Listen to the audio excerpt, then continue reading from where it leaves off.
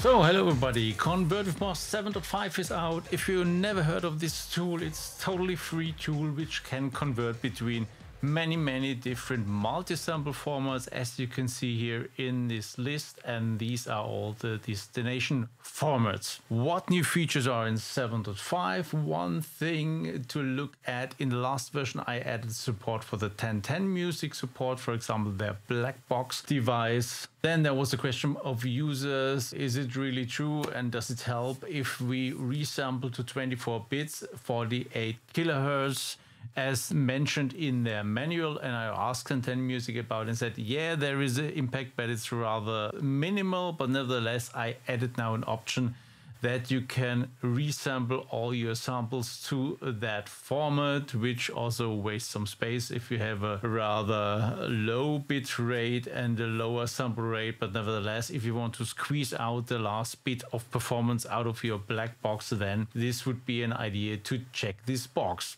But I added more new things to 7.5, which are for SFZ. So SFZ can read OGG files as well as FLAC files. And it can also write FLAC files. So it convert your WAV files to FLAC. FLAC is a lossless format, but it's much smaller than normal WAV file, so it's compressed, but it's not losing any information or data. So it's an interesting idea to use it because you save some space but you need a player which can play FLAC format, which we have a look at in a second.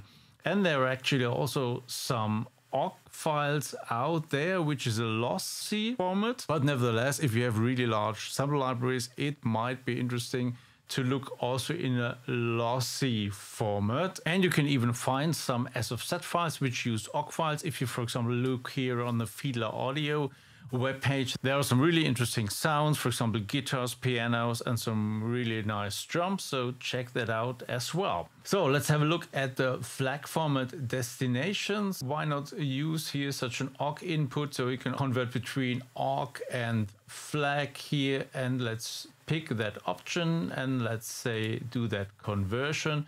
You will also get a notification that the OGG file needs to convert to WAV file format and then this WAV file format gets converted to FLAC and you find the results here in this output folder. Let's have a look here and there is the updated reference file and we have all the FLAC files. But it turns out not all SFZ players can play FLAC files. I failed with Bitwig and I failed with sfizz and also Sforzando simply crashed. but it turns out TAL Sampler does the job. So let's have a look here at Bitwig and I load a TAL sampler or TALSampler. I still don't know how to pronounce it. And there you can drag and drop in the SFZ file in one layer and there you have this concert guitar and let's have a listen. It should be here.